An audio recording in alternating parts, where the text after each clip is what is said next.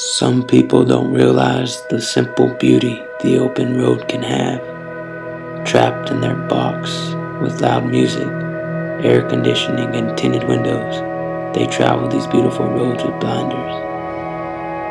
The best way to experience the open road is on a motorcycle.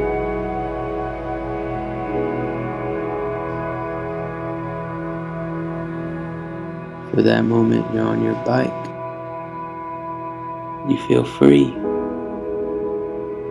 Free to feel.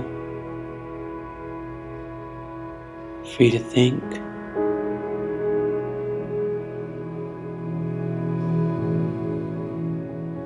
Free to live.